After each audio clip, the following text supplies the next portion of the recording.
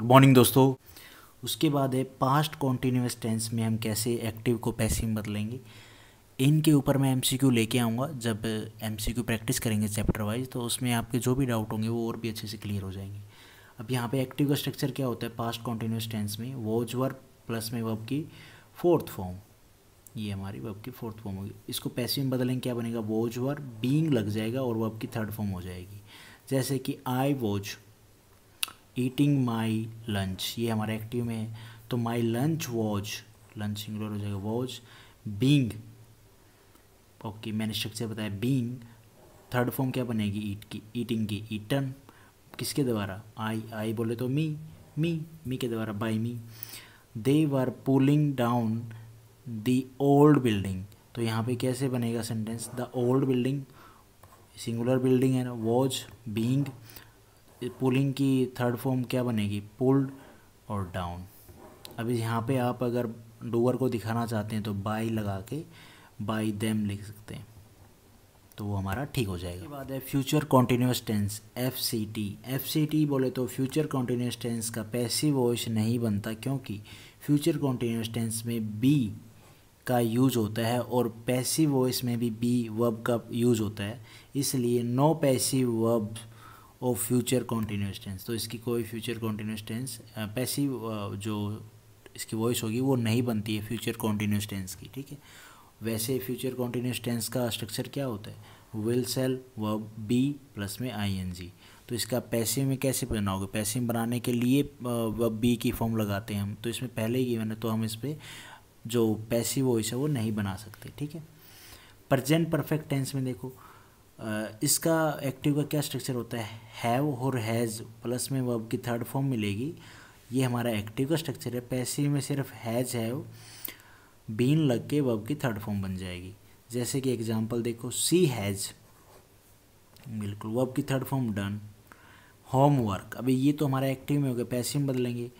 Homework singular होगा has been done by किसके द्वारा? हर।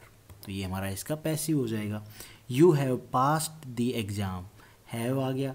पास्ट वर्ब की थर्ड फॉर्म आ गई। द एग्ज़ाम ये हमारे एक्टिव हो गए पैसिव बदलेंगे द एग्ज़ाम सिंगुलर होगा तो क्या बनेगा? Has the exam has been verb की थर्ड फॉर्म क्या बनेगी? पास्ट बाई किसके द्वारा? You you have beaten him तो यहाँ पे क्या है? हैव हैव के साथ में वर्ब की थर्ड फॉर्म है बीटन तो हिम का क्या बनेगा? He he has been beaten verb की third form by us we का क्या बन जाएगा? अस के बाद एक और एग्जांपल है. ही हैज़ वर्ब की third form sent me a present अब ये हमारे एक्टिव में हो गया. पैसे में बदलेंगे. ए प्रजेंट हैज़ सिंगुलर ये प्रजेंट सिंगुलर होगा ना? तो सिंगुलर के लिए वर्ब क्या है? हैज़ हैज़ के साथ में क्या था? बीन बीन के साथ में वर्ब की third form sent to me किसके द्वारा? बाई हिम ही क्या बन जाएगा? तो ये हमारा पैसिव में हो जाएगा। उसके बाद है पास्ट परफेक्ट टेंस का स्ट्रक्चर क्या होता है? एक्टिव फॉर्म में एक्टिव वॉइस में हैड और वर्ब की थर्ड फॉर्म तो इसको हम पैसिव में चेंज करें, क्या बनेगा? हैड प्लस बीन और वर्ब की third form for example they had done verb की क्या है? थर्ड फॉर्म है। Homework they had done homework ये हमारे एक्टिव में होगी पैसे में बदलेंगे। होमवर्क हैड सिंगुलर हो गया ना होमवर्क तो। Had been done, वर्ब की third form by them he had completed the work अब यहाँ पे देखो हैड completed द वर्क तो भैया इसको हम चेंज करेंगे पैसे में. The work had been verb की third form completed by he का क्या बन जाएगा? Him the man had constructed the bridge तो भैया ये हमारे एक्टिव में है. इसको पैसे में बदलेंगे. The bridge had been constructed verb की third form by the man ये हमारा इसका पैसिव हो जाएगा। उसके बाद है फ्यूचर परफेक्ट टेंस में क्या है? देखो एक्टिव का स्ट्रक्चर क्या है? विल सेल हैव वर्ब की थर्ड फॉर्म और पैसिव का स्ट्रक्चर क्या बन जाएगा? विल सेल हैव उसके साथ में बीन लग जाएगी वर्ब की third form for example he will have told verb की थर्ड फॉर्म मी ये हमारा एक्टिव हो गया पैसिव बदलेंगे I shall have been verb की थर्ड फॉर्म टोल्ड बाई किसके द्वारा? ही तो ही का क्या बन जाएगा? हिम ये हमारा पैसिव बन गया। आई विल हैव वर्ब की third form completed the task by tomorrow तो द टास्क विल अब टास्क के लिए हम विल यूज़ करेंगे। आई के साथ में सेल आता है। विल के साथ में फिर आगे क्या था structure have been completed by किसके द्वारा? बाय मी और फिर अगर आप टाइम भी दिखा रहे हो भाई कब तो बाय टमोरो ये भी आप दिखा सकते हो। तो ये भी पैसे में ठीक है sentence we shall won you अब सेल वब की थर्ड फॉर्म ये हमारा किसमें हो गया? ये हमारा एक्टिव में हो गया भैया। यहाँ पे एक एरर है। यहाँ पे हैव भी आता है यार। ये मैंने नहीं लिखा। तो we shall have won you अब ये तो हमारे एक्टिव में हो गया। फ्यूचर परफेक्ट टेंस की बात कर रहा है। अब इसको हम पैसे में बदलेंगे। तो you will have been been ठीक है? और क्या वब की थर्ड फॉर्म आएगी। वब वॉन्ट का क्या बन जाएगा? वॉन्ट यहाँ पे भी वॉन नहीं आएगा, ये वॉन्ड आएगा। यहाँ पे भी ये वर्ब की थर्ड फॉर्म आएगी। मैंने वॉन ही लिख रखी है। तो ये यहाँ पे वॉन बन जाएगी। और इसको आप डूअर दिखाओगे तो बाई अस ये हमारा पैसिव बन जाएगा। कभी कभी ना कुछ क्वेश्चन ऐसे होते हैं जो एग्ज़ाम में ही गलत आते हैं। तो उनको या तो अटैम्प्ट मत करो। प्रैक्टिस होने के बाद है ना आपको खुद आ जम जाएगा कि हाँ ये क्वेश्चन गलत लिख रखा है स्ट्रक्चर ही गलत लिख रखा है। उसके बाद है present perfect continuous tense past perfect continuous tense future perfect continuous tense future continuous tense का पैसिव वॉइस नहीं बनता। बिकॉज़ इन चारों टेंस में पहले से ही बीन और बी का यूज़ होता है।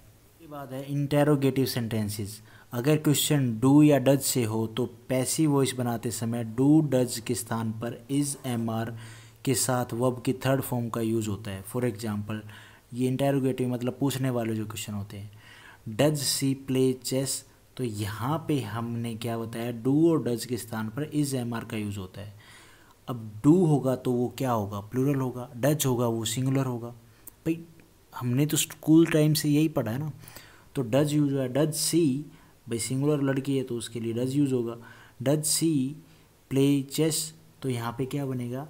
कैसे बनाएँगे इसको? इज़ चेस क्योंकि जो पैसिव बनेगा वो भी तो इंटेरोगेटिव में बनाएँगे ना। तो ये जो इज़ यूज़ हुआ है, ये किसके लिए यूज़ हुआ है? चेस के लिए। Is chess played by her तो अब की थर्ड फॉर्म यूज़ हुई है, बिल्कुल ठीक है। और डूअर दिखाने के लिए हम बाई लगाते ही लगाते हैं तो यहाँ पे सी का क्या बन जाएगा? हर। बाद एक और एग्ज़ाम्पल है डू आई नो यू तो भैया यू आर आपने सुना होगा ना? तो क्वेश्चन ये तो एक्टिव में हो गया पैसिव में बदलेंगे, कैसे बनेंगे? Are you known to me verb की थर्ड फॉर्म कर दिया इसने। यहाँ पे क्या था ये? वब की फ़र्स्ट फॉर्म थी। और नॉन नॉन के बाद में क्या है? टू मी उसके बाद एक और एग्जांपल है did he plan an excursion to mountains excursion का मतलब होता है सैर करना, ठीक है, सैर। तो इसका हम, ये हमारा एक्टिव में इसको हम पैसे में कैसे बनाएँगे? वैसे तो इंटेरोगेटिव है ना इंटेरोगेटिव सेंटेंस हो गया तो ये एक्टिव में है रूल के हिसाब से ये रूल था। तो इसको हम पैसे में कैसे बनाएँगे? Did he plan an excursion to mountains तो एक तो ये पास्ट की बात कर रहा है तो पास्ट के लिए क्या आएगा?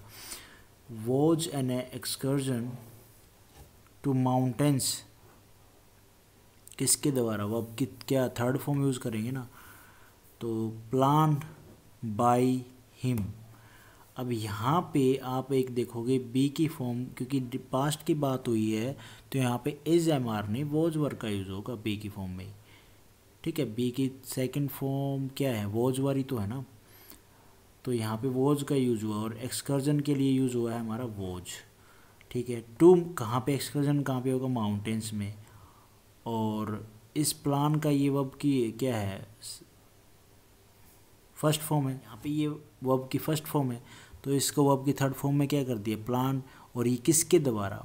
बाई हिम जो ही है, उसके द्वारा। तो ऐसे भी क्वेश्चन एग्ज़ाम में पूछे जाते हैं।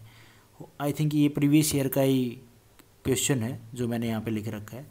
उसके बाद है क्वेश्चन डिड से बना है तो पैसिव वॉइस में डिड के स्थान पर वोज वर, वही जो मैंने आपको बताया, का वब की थर्ड फॉर्म के साथ यूज़ होगा। For example did she answer the question तो यहाँ पे ये इंटेरोगेटिव एक्टिव में है तो इसका क्या बनेगा?